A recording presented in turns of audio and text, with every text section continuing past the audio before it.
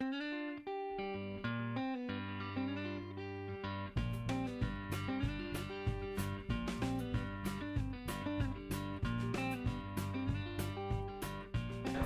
I am standing here with the mysterious.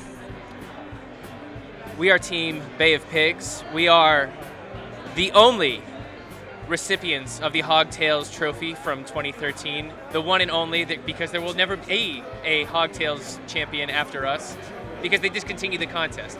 But I, even if they were continuing it, we would only. Oi! I'm getting interviewed.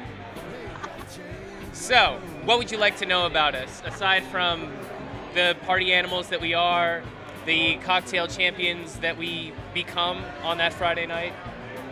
How many years have you been competing? Well, this will be the second year for Team Bay of Pigs, but we like to think that we've been competing in barbecuing since each of us first tasted the sweet, sweet flesh of Lesser Beast. Are you doing all the categories this year? We have not decided. I think that'll be a game time decision. We definitely don't want to let out the strategy too soon. What brings you back to Hogs each year? Drinking. Uh, no. Uh, no. Can we cut that? Maybe. No. Probably not.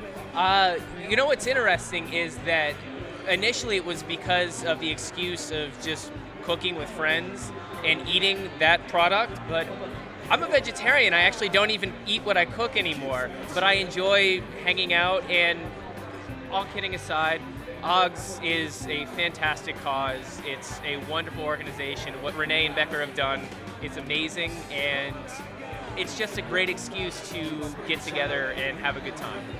Could your team bring sexy back if it was lost again? There was no loss of sexy. I mean, if you saw the keg stands that we were doing at our tent last year, there was no question that sexy was here and now. Any big plans for Friday night? Oh, well, since we are, again, the reigning champions of the Hogtails competition, we know that we need to bring it and bring it hard. So, we'll see. Bay of Pigs. Thank you so much, and we look forward to seeing what you have to offer in March.